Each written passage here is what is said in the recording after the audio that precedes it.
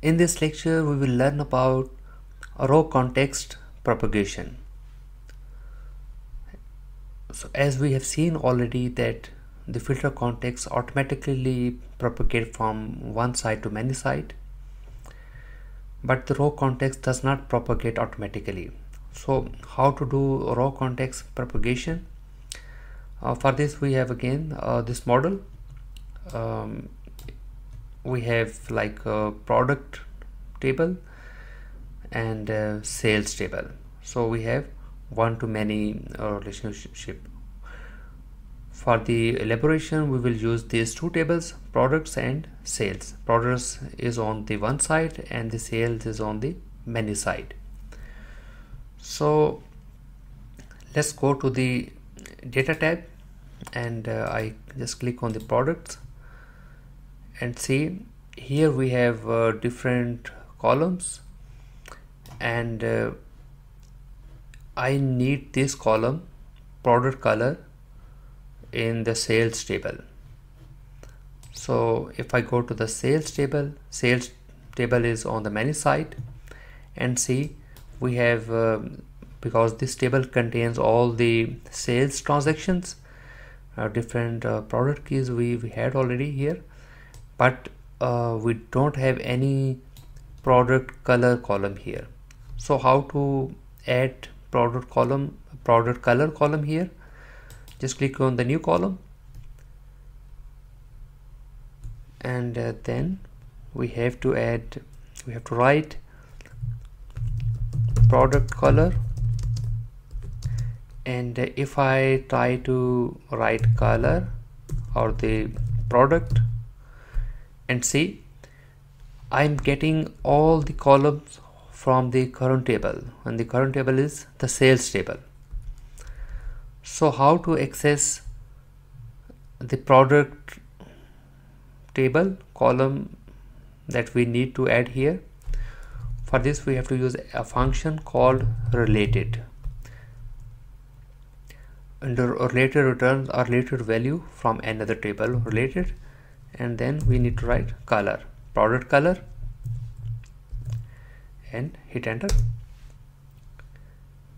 And now we, we can see uh, we are getting all the products color uh, from the products table. So this is how the row context with the help of um, row context we are getting a value from the one side to the many side. So because we, we had already a relationship from one to many uh, relationship and due to this relationship we are getting this product color values. Now we we now we can go to the product table and try to get the sales transactions for every product. So we will write col new column and total transactions. Because one product can have multiple transactions so we cannot write here a related function because related will not give us the access to the many side. See we when we try to write sales we are getting nothing. So to get the values from the many side we have to use a function a related table and uh, then uh, we need to pass sales table here if I click hit enter. See we are getting multiple columns cannot be converted to a scalar value. So we need a single value here. So what we will do is we will uh, write another function like count rows because we will try to count all the rows. In the sales table hit enter. And see this is how I mean this is what we are getting. Sales number of sales transactions for every related product.